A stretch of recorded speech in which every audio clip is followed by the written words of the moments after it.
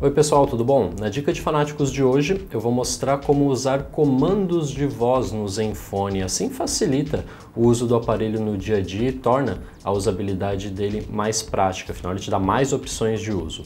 Bom, para usar comandos de voz no Zenfone, a gente vai usar o Google Assistente, que é a ferramenta do Google para esse tipo de tarefa.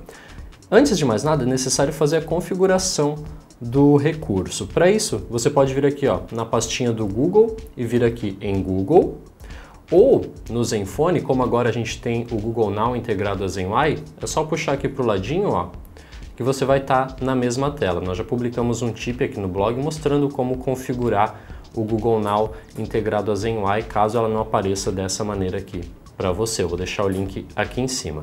Bom, dentro aqui do Google, a gente vem nesses risquinhos aqui em cima e vem em configurações.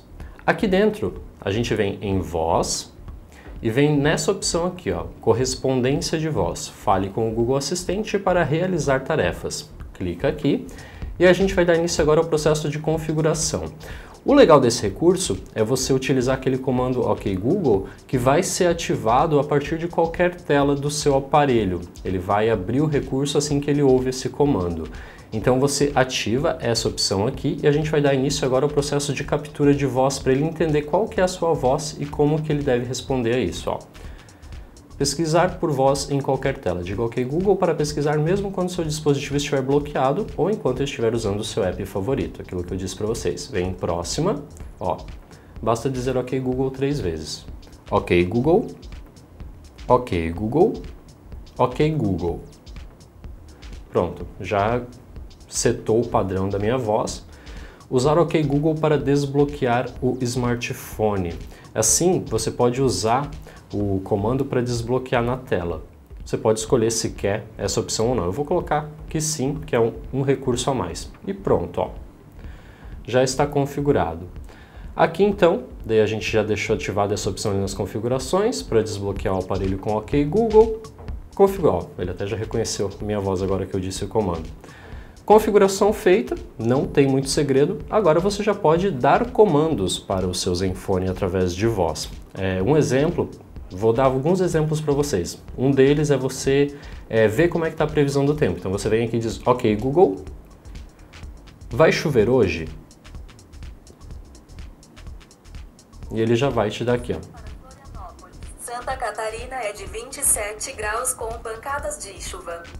É bem legal. Outra coisa que você pode fazer, por exemplo, é pedir para ele é, programar o seu alarme. Então, ok Google, definir alarme para amanhã às 7 horas da manhã. Ativando o seu alarme. Simples, rápido, direto. Isso é muito legal.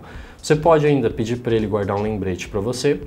Ok Google, lembre-me de tomar o remédio amanhã às 9 horas da noite.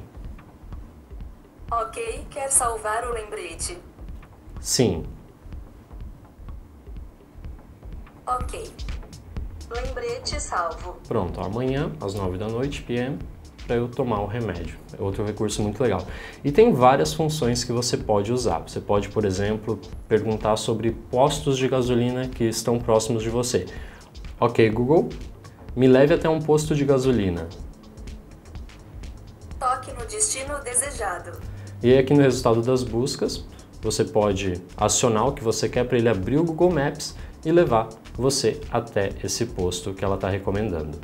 Eu tenho o WhatsApp instalado aqui ó, no outro Zenfone, eu vou mostrar para vocês que vocês podem mandar as mensagens também, como eu mencionei, através do WhatsApp ou mensagem de texto. Ok, Google, mandar mensagem no WhatsApp para Diego Kerber.